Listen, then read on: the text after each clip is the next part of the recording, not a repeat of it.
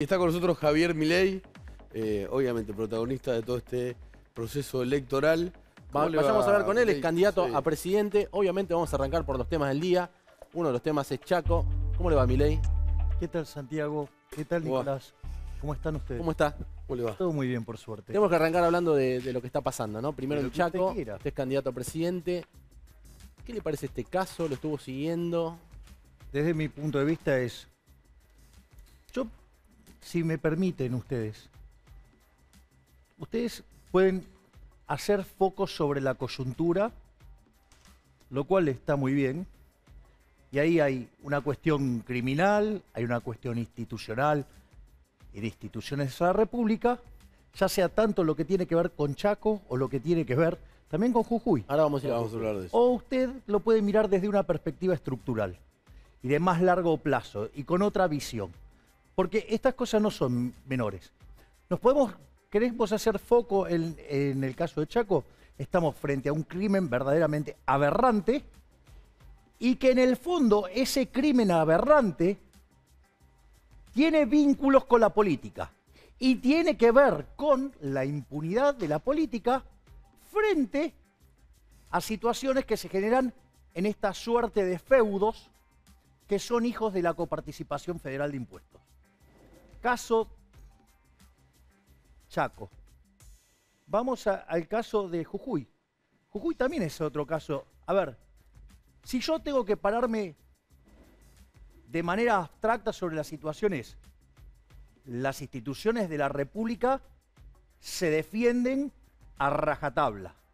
Es decir, y si hay alguien que está agrediendo a los uniformados, es un terrorista directamente.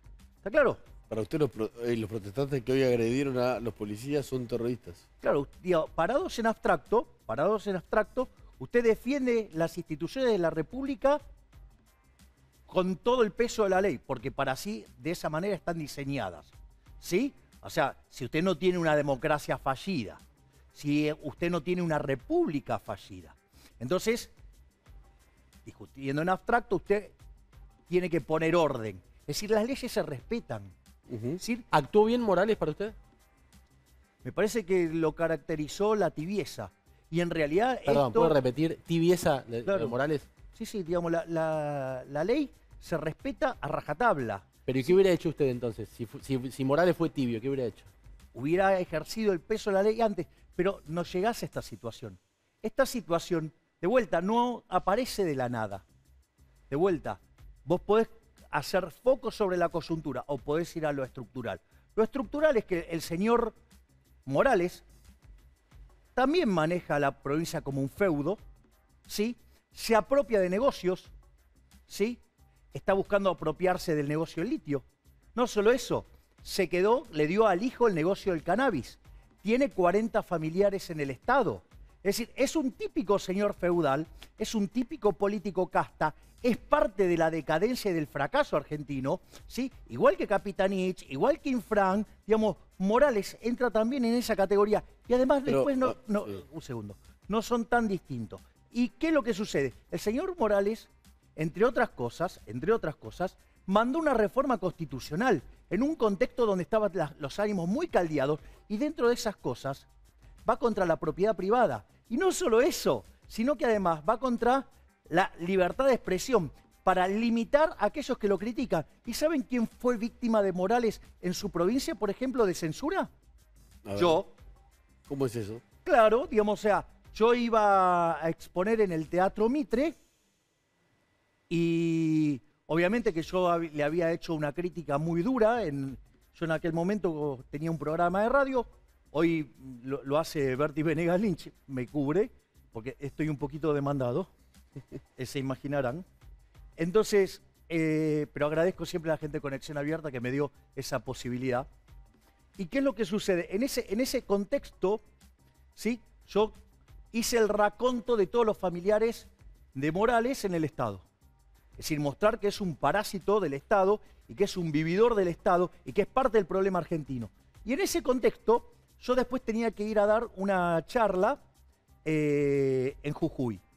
Y entonces, como ya en esa época yo ya generaba bastante convocatoria, no las de ahora, pero eran importantes para, el caso de un economista hablando de liberalismo.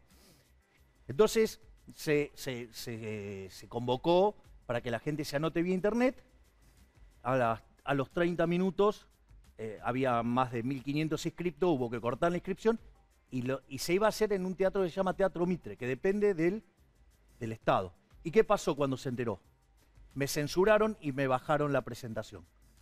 No solo eso, entonces frente a esa situación tuvimos que ir a buscar la segunda institución que tuviera el auditorio más grande, a pesar de que ya se quedaba mal con mucha gente que se le había dado el ok y que, no se, y que ahora no iba a poder asistir. Entonces fuimos para la universidad, nos dieron el ok y a las pocas horas vino la orden de Morales para que nos bajen y terminamos en un hotel. Entonces, digo, lo que digo es... Lo entiendo, pero No, no, pero acá sabes cuál es el punto, Santiago.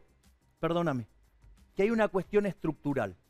Este es un modelo, ¿sí? Este propio modelo genera violencia. Entonces, y vos tenés socios que se prestan el poder, quiseristas, ¿sí? Y Juntos por el Cambio, ¿sí? Y después hay un grupo de insurrectos que quieren hacer la revolución cubana, que quieren hacer la revolución socialista, que son la- los, las Pero lo quiero traer izquierda. a- a- Que dicho al sea de paso, sí. por ejemplo, a los piqueteros, digamos, acá en la ciudad autónoma de Buenos Aires hacen lo que se, quiere, se le da la gana. Entonces, ojo, porque podés focalizarte en lo coyuntural, podés focalizarte en lo abstracto y podés ponerlo en contexto. Y en el contexto son señores feudales eh, eh, eh, que, lo entiendo. que empobrecen a Argentina. Quedó, quedó No, claro lo que esto quiere no decir. es menor. Pero la pregunta Pero es... este modelo, Sí. este modelo, este modelo, este modelo, digo, lleva más de, de 100 años en Argentina. De acuerdo. ¿sí? Y Quedó de ser claro la idea, uno de pero los le quiero cinco países preguntar, más ricos a del ver. mundo, somos 140 el tipo de cambio paralelo, que es el de verdad. Tenemos más de 40% de pobres, vamos camino a 50, ¿sí? tenemos 10% indigentes. Y si seguimos haciendo estas mismas cosas, lo único seguro es que vamos a hacer la villa miseria más grande del mundo. Entonces, ese es el marco estructural. Está bien, pero Esto es lo que usted, generó- usted, usted, pero, digo, Milei, ¿quiénes pero a son? ver, Pero, usted es candidato a presidente. Fioriti, Sí. le hago una pregunta. ¿Quiénes son los que negocian con los piqueteros? Está la bien, propia pero- socialdemocracia, la propia, so- digamos, el señor Morales, digamos, estos señores, o sea, eh, negocia también. Pero digamos, la- acá en, en bueno, la ciudad déjeme preguntarle lo siguiente, déjeme una pregunta. La reta negocia con Grabois. Pero está Es bien, déjeme y- preguntarle lo y- siguiente. Y no hace falta que le diga que los peronistas, digamos, los tienen todo adentro. Usted es candidato a presidente. Hoy los candidatos a presidente de Juntos por el Cambio, Larreta y Bullrich, se juntaron para una conferencia de prensa en la cual dijeron, lo que pasó en Jujuy es lo que nos van a hacer si somos gobierno. ¿Usted coincide con esto? O sea, si usted le tocaría eventualmente ser presidente, ¿sabe que le van a venir este tipo de protestas?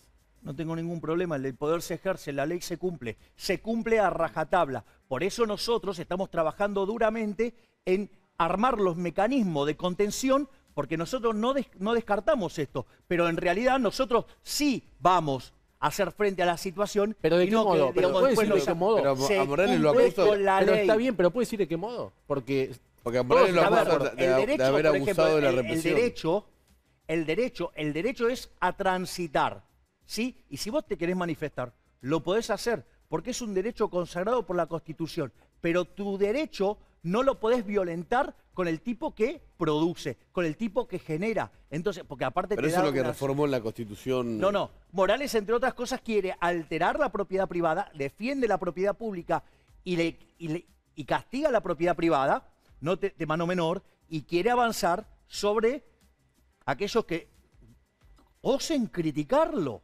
Entonces, ojo con estas cosas. O sea, no caigamos, no caigamos en la trampa del populismo institucional y evaluar las cosas como si esto ocurriera en un tubo de ensayo. Por eso, ¿qué es lo que arranqué? Dije, ojo con el tubo de ensayo, porque digo, o sea, vive haciendo tubo de ensayo. Pero digo, de vuelta, es- ¿sabes qué? El derecho es el derecho a transitar. ¿Y sabes qué? Es que La ley se cumple. Y si vos no pero dejás... está, está bien, en- eh, que, que hay que cumplir ¿sabes la qué? ley, estamos Bueno, todos de acuerdo. Nosotros estamos, por ejemplo, dispuestos a meter los, pique- los piqueteros presos. Bueno, hay 50 detenidos. o Bueno, alrededor ok, de- de y si hay que 50. detener más, se detienen a todos los que haya que detener. O sea, nosotros no tenemos Yo no estoy de defendiendo el ataque a la legislatura, para nada, al contrario. Bueno, Hoy hay una digamos, la- legislatura Condenamos el el- Lo que digo es- y a la violencia. Lo que digo es, las instituciones, de vuelta, pero salgan del tubo de ensayo. El tubo de ensayo es, yo le- les di la respuesta de tubo de ensayo. digamos, de vuelta, las instituciones se re- de la República se respetan a Ah, Pero rajatabla. Jujuy es Formosa, en Jujuy hubo alternancia. Formosa hay reelección indefinida. Está bien, y dale más poder a, a- todavía a Morales para que no, no lo critique nadie y de poder avanzar sobre la libertad privada y, y, digo, la propiedad privada y, y- y va a ser cada vez peor. O sea, ¿o ¿te crees que- Ahora, ahora, él deja la, él- ahora él deja la gobernación. Bueno, ok. Eh, Quizás deja algún... algún bueno, lo- de- eh, deja al gobernador que ganó las elecciones. digo. Eh, es fuerte lo que dice que eh, sería más fuerte con los manifestantes porque la verdad que se, lo está, se está acusando a Morales de haber sido demasiado duro. No con la toma Pero de la es que esto- legislatura, sino con otras detenciones que Pero esto... lo dirá la justicia, ¿no? Pero, a ver, digo, la, a ver, la represión tiene un marco. Si usted se excede, Por supuesto. Se castiga. Exactamente. es decir, entonces, digo, ojo, tampoco hay que tener miedo a, a- a las palabras, porque a los delincuentes se los reprime. Al delincuente se lo reprime, al delincuente se lo castiga, ¿sí? Al delincuente se lo encierra. ¿Ok? Digo, o sea, de vuelta, digamos, no, o sea, acá, al menos la propuesta que hacemos nosotros desde la libertad avanza, y hoy, digamos, hemos dado muestra de cómo es nuestra visión respecto a los temas de seguridad que son no negociables, el que las hace las paga. Es decir, acá se terminó la doctrina Zaffaroni. Acá hay una nueva, nosotros proponemos una nueva doctrina de seguridad que el que la hace, la paga. Nosotros en qué estamos inspirados? Estamos inspirados en Gary Becker, estamos inspirados en Giuliani y justamente, por ejemplo, nosotros vamos a enfrentar a la, a la inseguridad con toda la fuerza de la ley. Es decir, dentro de la ley, todo. Mire lo que pasaba hoy en Jujuy, Nico. eh, Entre otras cosas, ¿no? este- entre otras cosas, quemaban un auto, robaban un auto. Se lo robaron. Se lo robaron. A ver, vamos a verlo y, y vamos a seguir hablando, Milei, de esto. ¿Y eso qué tiene que ver con una manifestación? ¿Puede mirar esto? No, ¿Lo vio esto? pero ¿Lo vio? no, por supuesto, es, eh, eh, está- es nefasto. Y ¿no? bueno, Porque esos digo- no son manifestantes. Bueno, por eso, son se están delincuentes. robando, Se están robando un auto, ¿no? Eh, Esas personas, por supuesto, deberían estar... eh, Tienen que estar presos. Sí, ahí está. Se lleva hasta la rueda de auxilio. Tienen que estar presos. Sí, no son pro- eh, protestantes, no son manifestantes, ¿no? Por eso. Entonces, pero esto pasa, esto pasa porque Ahora, la Morales piensa igual que usted respecto No, a esto. Morales, Morales piensa en estos Mire, términos. mire, mire esta- A ver, Morales Mire, piensa mire, en- mire, no, mire este- cómo queman el auto. Mírelo. No, pero esto me da la razón a mí. Pero Morales, Morales piensa así hoy porque ve amenazado su poder. Si no, digamos, o sea, eh, si no es, es- es un socialdemócrata tibio que en otras circunstancias eh, estaría haciendo la crítica que le hacen a él. Hay, hay- ah, lo está viendo ahí atrás. Sí, lo estoy viendo. Sí. Bueno, con Milagro Sala actuó, eh, o por lo menos la justicia, impulsado por denuncias, actuó eh, de modo fuerte. Eso es un auto digo, de una legisladura. Está bien, pero me parece correcto, digo, había que meterla presa. Eh, eh, esto, esto que están viendo ahí, contémosles a, a los televidentes, ocurrió adentro de la legislatura. Es el auto de una legisladora. Es el auto de una legisladora. A ver, lo que quiero que se entienda es que si esto le hubiera ocurrido a alguien del sector privado, Morales mira para otro lado. Morales y cualquier miembro de la casta política, o sea, no me importa, Morales, Morales es uno más de lo mismo. Es decir, que hubiera, o sea, pero cuando ven amenazado sí. su poder, ahí es cuando reprimen. Entonces, ojo, porque... ¿No le parece, ¿no le parece igual complejo resolver un, un tema así? ¿Y pero usted para qué No, cree, pero para qué que digamos la gente elige autoridades? Para, para resolver los temas fáciles. Entonces, digamos, nos quedamos en casa, lo hace cualquiera. Esto no es para cualquiera. Esto es para gente, mira, esto hay que, uno tiene que saber qué hay que hacer. Y para saber qué hay que hacer hay que tener muy claras las ideas. Esto es lo más importante. Solamente uno va a saber lo que tiene que hacer si solo si tiene claras las ideas. Cosa que el espectro político no tiene ni la menor idea. O sea, en realidad, digamos, lo único que tienen es focus group, no tienen ideas. O sea, no, no tienen visión del mundo, nada, tienen focus group. Entonces necesitan reaccionar después de que hicieron 50 focus group. Entonces hay que saber lo que hay que hacer, hay que saber cómo hacerlo, ¿sí? Y hay que tener el coraje para hacerlo. Entonces, cuando nosotros hablamos de una nueva doctrina de seguridad, queremos modificar la ley de seguridad interior, queremos modificar la ley de defensa nacional, queremos modificar la ley de inteligencia, queremos modificar el sistema carcelario, queremos modificar el código penal y el código penal procesal. ¿Para qué? Para que enfocar eso de manera completa al problema de la inseguridad, porque hay un montón de cuestiones. Entonces, pero de vuelta, acá, acá llegamos por el zafaronismo. O sea, algo que, digamos, o sea, que es propio de la socialdemocracia. Sí, Morales lo escucha hablar como emparentándolo con Zaffaroni. eh, No, hoy va. Pero no es solo Morales, porque digo, está todos juntos por el cambio pensando igual en este tema. Bueno, porque, eh, a ver, vamos a ponerlo en estos términos. Porque hoy el humor de la sociedad cambió. Pero a este, o sea, lo de vuelta, lo que quiero es que, que se entienda es que usted no llegó acá de la nada. Esto no pasa, a ver, esto, digamos, tenemos el episodio de Chaco, tenemos el episodio de, eh, de Jujuy, en otro momento hubo un episodio en Formosa, la provincia de Buenos Aires es un caos, la capital federal se corta permanentemente, Santa Fe en general es un descontrol. Entonces, vamos, Esto, lo que quiero que se entienda, que no es algo puntual, es algo estructural. Ahora, para llegar a este desastre, hay una dirigencia política que adoptó una actitud condescendiente con el delito. Es decir, hasta no hace mucho se abrazaban con las ideas de Zaffaroni. Es más, cuando usted plantea que la seguridad, antes cuando uno planteaba que la seguridad no era ni de derecha ni de izquierda, se espantaban. Es decir, decían cosas horribles. Entonces, ahora, digamos que explota esto, ahora sí están mucho más alterados y entonces cuando pasa esto empiezan a, a mostrar un, un mensaje duro. Pero después en los hechos, ¿qué hacen?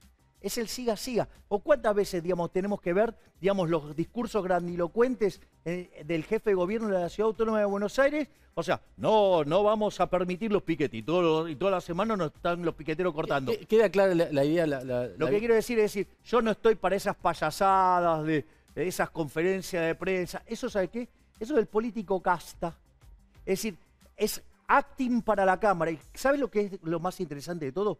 Que la gente ya se dio cuenta. Ya se, Se dio cuenta porque una de las cosas, estamos a solo días del cierre de listas. El sábado, Eh, Acaba de confirmar a Carolina Píparo como candidata a Sí, gobernadora. está Carolina y, y es- y está Francisco. Están los dos aquí que, que- que han venido. O sea, y eso es un Bien. claro testimonio que a la inseguridad se la combate sin reparo. Se la com- dentro de la ley. En los últimos días se instaló que usted está cayendo en las encuestas, que no tiene equipo, que se le caen los, que le va los mal a los candidatos, candidatos que le de va las mal. provincias. ¿Cómo Bueno, está realmente?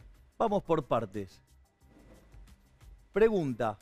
¿Ustedes saben, para que vean lo mal que me van, en, digamos, en la selección? La pregunta es, ¿ustedes saben en cuántas provincias se ha desdoblado? Eh, bueno, no me acuerdo el número exacto. En alrededor de 17. 21 distritos sobre 24. Si eso no te da una muestra Pero- del miedo que tiene la casta. O sea, ¿por qué crees que lo hacen? Lo hacen Para justamente despegar de gobierno. para despegar del gobierno y para tratar de mitigar el aluvión de libertad que se viene.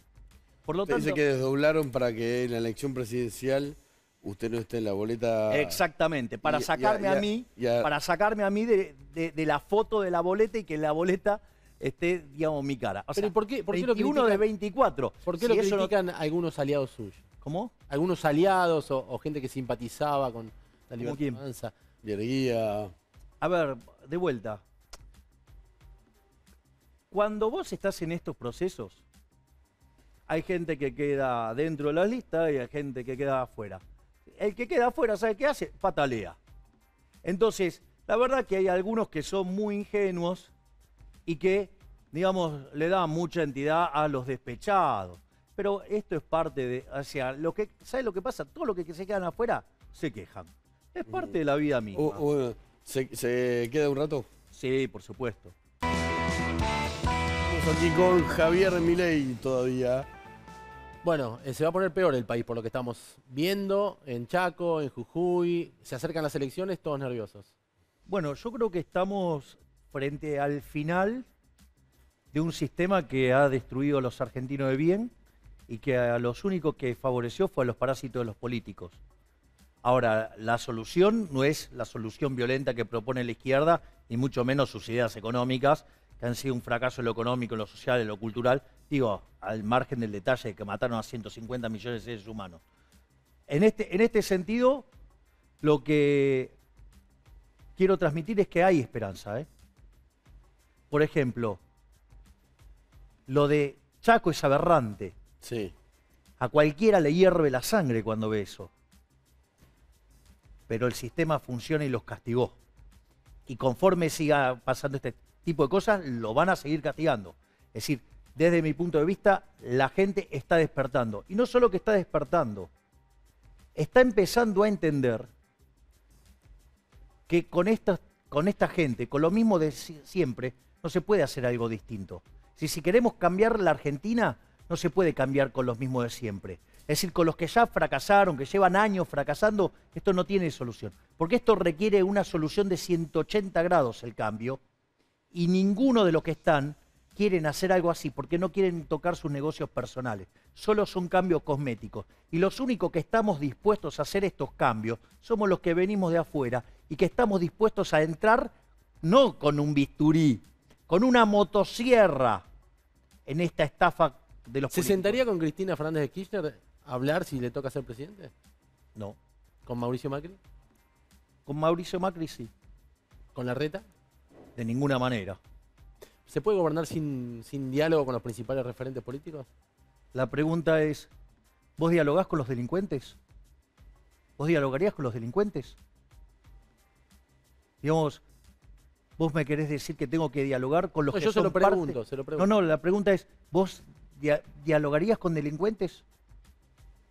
¿Dialogarías con los que hundieron el país?